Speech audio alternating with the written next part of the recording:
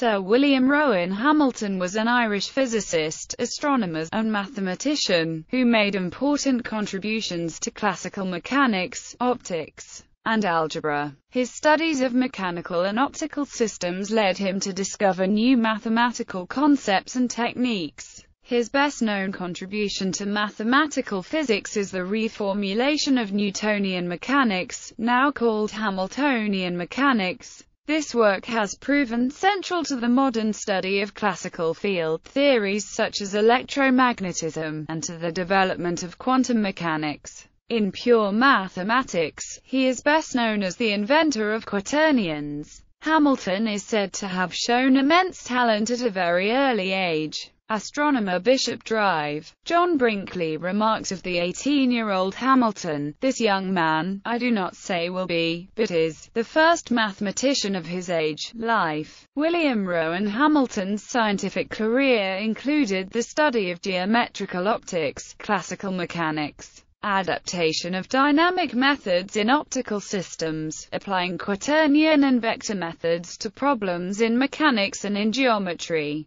development of theories of conjugate algebraic couple functions, solvability of polynomial equations and general quintic polynomials solvable by radicals, the analysis on fluctuating functions, linear operators on quaternions and proving a result for linear operators on the space of quaternions. Hamilton also invented Icosian calculus, which he used to investigate closed edge paths on a dodecahedron that visit each vertex exactly once. Early life Hamilton was the fourth of nine children born to Sarah Hutton and Archibald Hamilton, who lived in Dublin at 38 Dominic Street. Hamilton's father, who was from Dunboyne, worked as a solicitor. By the age of three, Hamilton had been sent to live with his uncle James Hamilton, a graduate of Trinity College who ran a school in Talbot's Castle in Trimco, Meath. His uncle soon discovered that Hamilton had a remarkable ability to learn languages, and from a young age, had displayed an uncanny ability to acquire them. At the age of seven he had already made very considerable progress in Hebrew, and before he was 13 he had acquired, under the care of his uncle, almost as many languages as he had years of age. These included the classical and modern European languages, and Persian, Arabic, Hindustani, Sanskrit, and even Marathi and Malay. He retained much of his knowledge of languages to the end of his life, often reading Persian and Arabic in his spare time. Although he had long stopped studying languages, and used them just for relaxation. In September 1813 the American calculating prodigy Zerah Colburn was being exhibited in Dublin. Colburn was nine, a year older than Hamilton. The two were pitted against each other in a mental arithmetic contest with Colburn emerging the clear victor. In reaction to his defeat, Hamilton dedicated less time to studying languages and more time to studying mathematics. Hamilton was part of a small but well-regarded school of mathematicians associated with Trinity College, Dublin, which he entered at age 18. He studied both classics and mathematics, and was appointed professor of astronomy in 1827. Prior to his graduation taking up residence at Dunsink Observatory where he spent the rest of his life. Optics and mechanics Hamilton made important contributions to optics and to classical mechanics. His first discovery was in an early paper that he communicated in 1823 to Dr. Brinkley, who presented it under the title of Caustics, in 1824 to the Royal Irish Academy. It was referred as usual to a committee. While their report acknowledged its novelty and value, they recommended further development and simplification before publication. Between 1825 and 1828 the paper grew to an immense size, mostly by the additional details which the committee had suggested but it also became more intelligible, and the features of the new method were now easily to be seen. Until this period Hamilton himself seems not to have fully understood either the nature or importance of optics, as later he intended to apply his method to dynamics. In 1827, Hamilton presented a theory of a single function, now known as Hamilton's principal function, that brings together mechanics, optics, and mathematics, and which helped to establish the wave theory of light. He proposed for it when he first predicted its existence in the third supplement to his Systems of Rays, read in 1832. The Royal Irish Academy paper was finally entitled Theory of Systems of Rays, and the first part was printed in 1828 in the Transactions of the Royal Irish Academy. The more important contents of the second and third parts appeared in the three voluminous supplements which were published in the same transactions, and in the two papers on a general method in dynamics, which appeared in the Philosophical Transactions in 1834 and 1835. In these papers, Hamilton developed his great principle of varying action.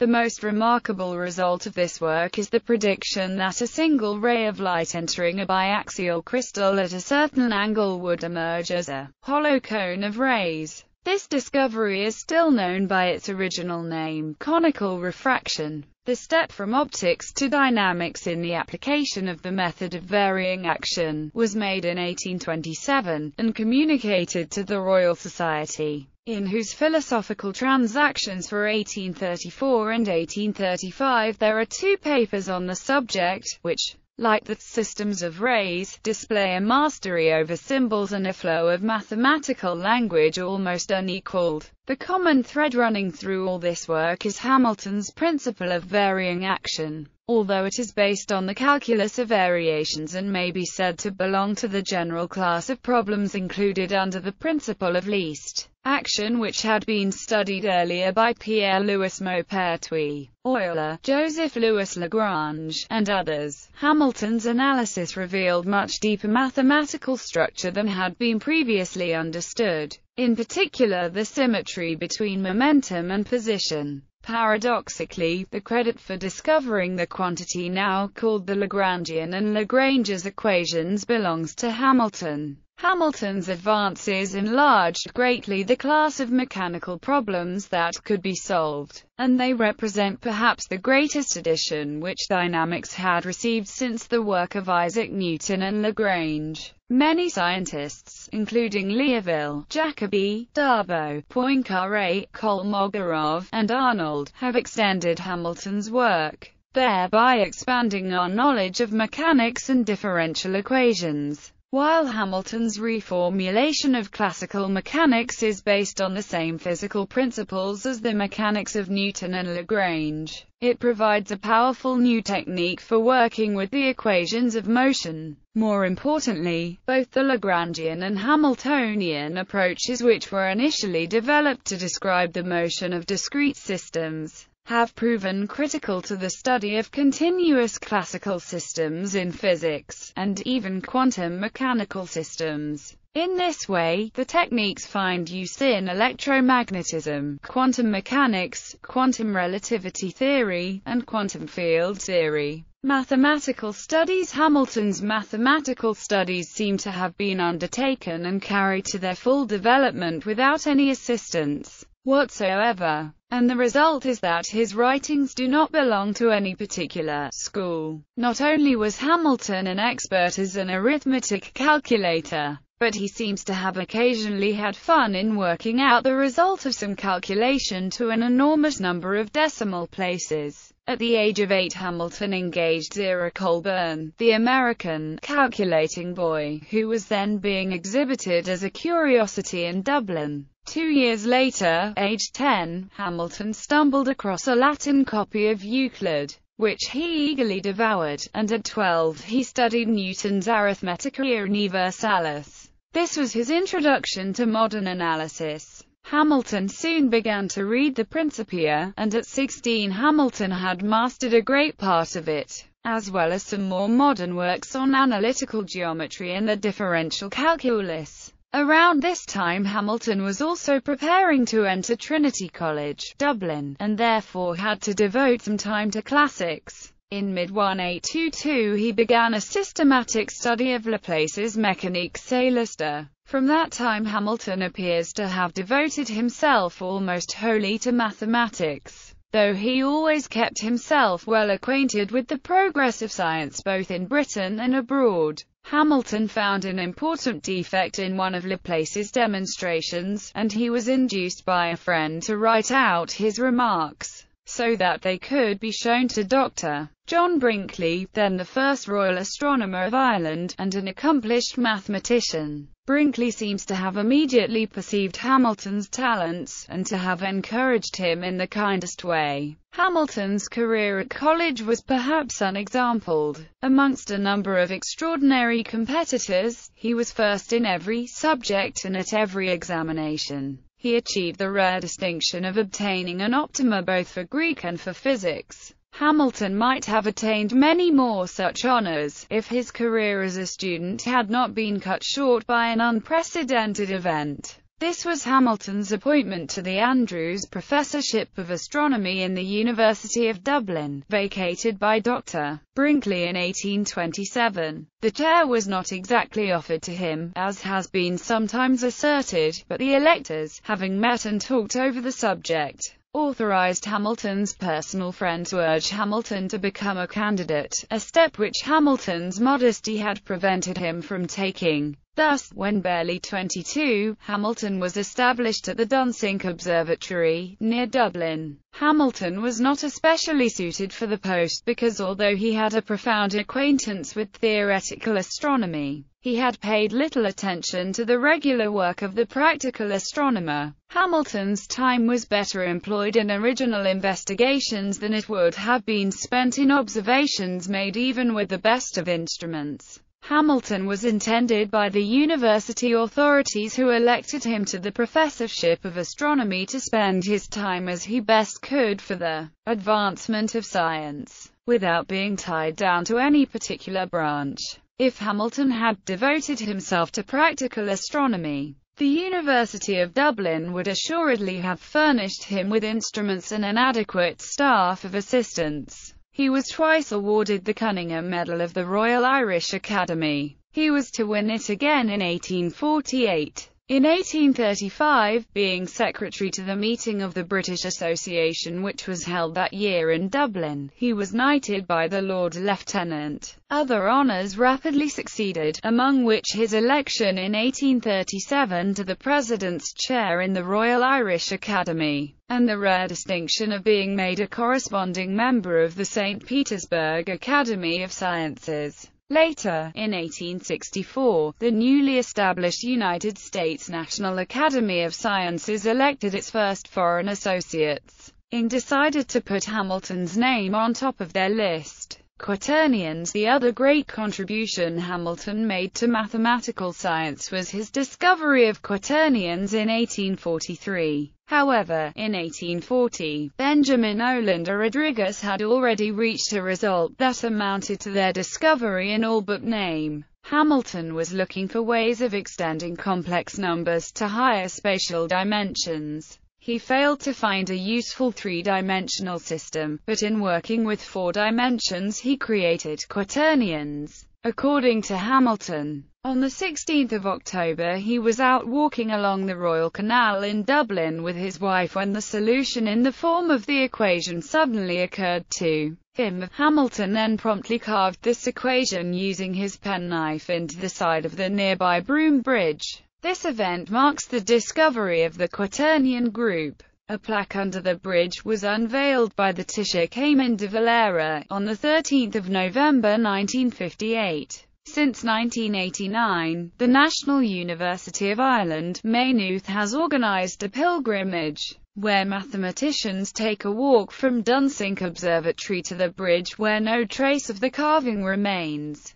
though a stone plaque does commemorate the discovery. The quaternion involved abandoning commutativity, a radical step for the time. Not only this, but Hamilton had in a sense invented the cross and dot products of vector algebra. Hamilton also described a quaternion as an ordered four-element multiple of real numbers, and described the first element as the scalar part, and the remaining three as the vector part. Hamilton introduced, as a method of analysis, both quaternions and biquaternions. The extension to eight dimensions by introduction of complex number coefficients. When his work was assembled in 1853, the book Lectures on Quaternions had formed the subject of successive courses of lectures delivered in 1848 and subsequent years, in the halls of Trinity College, Dublin. Hamilton confidently declared that quaternions would be found to have a powerful influence as an instrument of research. When he died, Hamilton was working on a definitive statement of quaternion science. His son William Edwin Hamilton brought the Elements of Quaternions, a hefty volume of 762 pages, to publication in 1866. As copies ran short, a second edition was prepared by Charles Jasper Joly, when the book was split into two volumes